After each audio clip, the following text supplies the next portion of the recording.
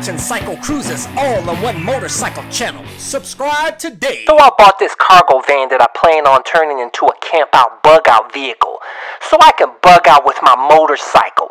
You are watching my bug out van build series. Hey, be sure to check out my bug out van build series. Video links are in the description section of this video. So I decided to get the biggest possible TV I could for my van and I ended up getting this off-brand 32-inch LED TV with a built-in DVD player and the TV is only 2.35 inches thick so it's ultra thin. It also has a VGA input so I can hook my computer up to it and it also has a USB port as well. You know, one thing that kind of threw me for a loop is on the box it showed 120 megahertz refresh rate and also the energy guide said $8.60. But the ad where I purchased the TV showed an energy guide of $11 per year and a 60 megahertz refresh rate, so I decided to do a little digging. So I decided to check the model number on the box and I noticed that it had three letters at the end, MQR, that was not listed on the ad. And I decided to go to the manufacturer's website and sure enough, my TV does have 120 hertz refresh rate, so this must be the newer model.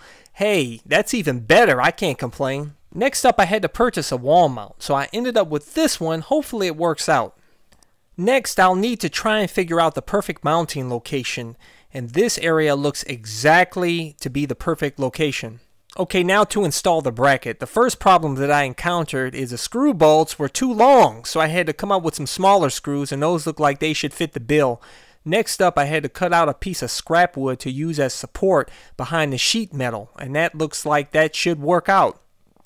So I went ahead and drilled some holes through the sheet metal and wood and then I put the bracket on and screwed the screws on and guess what? It went on solid.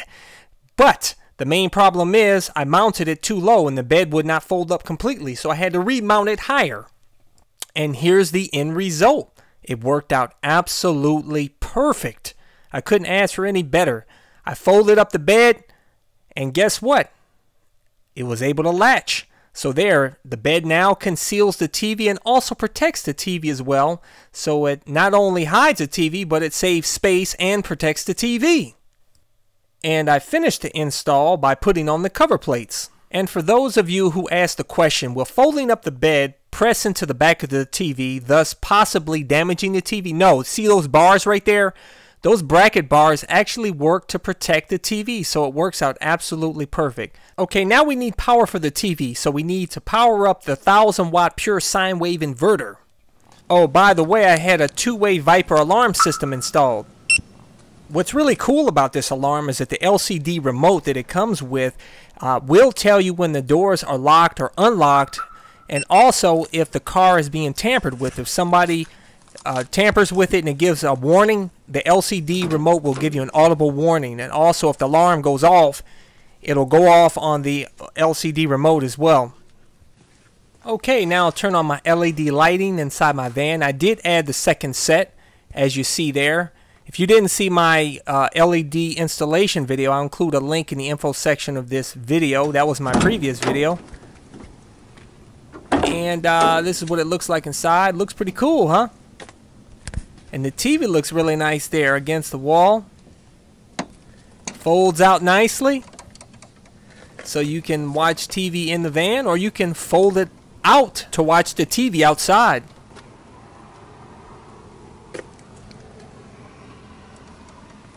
Okay, now let's fire up the TV and see what she looks like. So I'll go ahead and put a DVD in. Drug dealing, It's smuggling.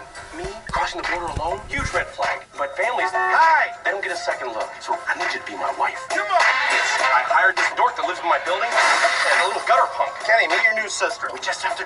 You got me moving enough weed to kill Willie Nelson, man. Okay, now I'll turn my driver's seat around. As you guys know, I installed a swivel plate. And this is what the view looks like with me sitting in the driver's seat turned around. Nice and comfortable. Wow, man. I'm loving this setup.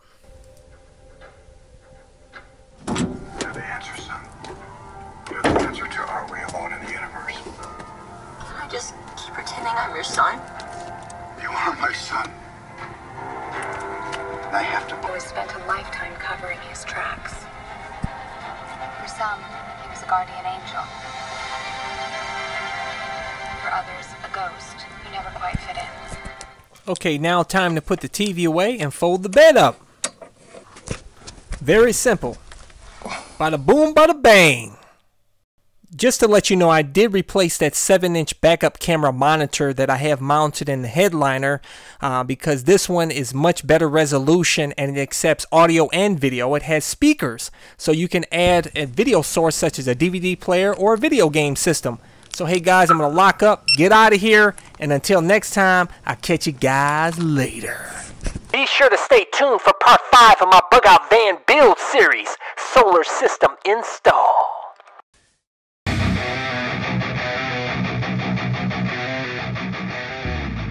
As always, links to all items shown in this video are located in the description and comment section of this video. Thank you for watching, and until next time, I'll catch you all later. Welcome to CycleCruza's Click to Go links. Just click on the pictures below to go to my recommended videos and my social media sites. Also, don't forget to visit my blog and store at cyclecruza.com. If you have any trouble clicking on these links, they are also provided in the info section of this video. Thank you and subscribe today. Check out my new channel where I talk about anything and everything, not just motorcycle related. CycleCruza Motovlog.